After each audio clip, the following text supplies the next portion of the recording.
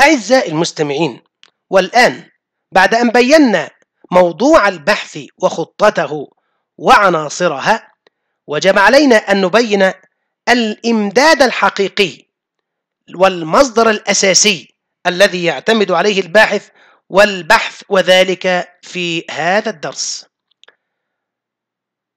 المراجع والمصادر وعلامات الترقيم أساسية في البحث ولابد أن نقف عليها في العناصر التالية. العنصر الأول بيان تلك المصادر من حيث أهميتها وأقسامها وكيفية التعرف عليها. العنصر الثاني الوقوف على علامات الترقيم من حيث تعريفها وإبراز أهميتها وكيفية أدائها. وأيضا العنصر الثالث والأخير الوقوف على بعض نماذج من تلك العلامات المسماة بعلامات الترقيم.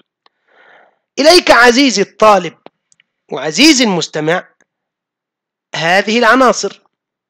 العنصر الأول أهمية المصادر. إن البحث لبنة تضاف إلى بناء السابقين.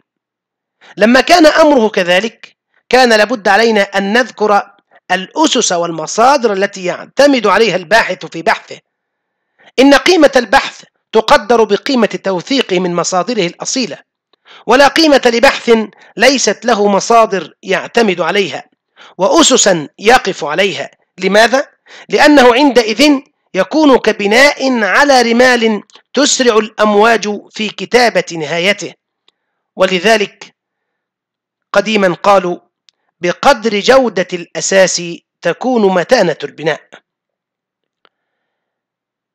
بعد أن وقفنا على أهمية تلك العناصر والمصادر وقف علينا أن نب... وجب علينا أن نبين أقسام المصادر العلمية.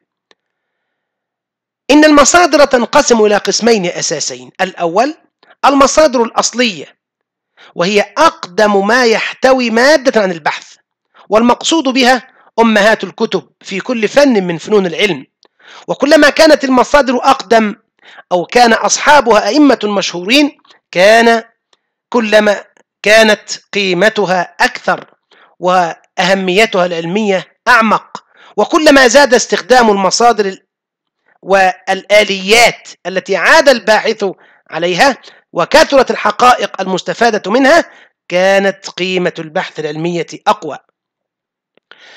والمصادر الأصلية كذلك تشتمل المخطوطات القديمة التي لم يسبق نشرها وأيضا مذكرات القادة والزعماء والساسة الذين يسجلون فيها كل ما يجري في الخفاء مما لا يعرفه العوام.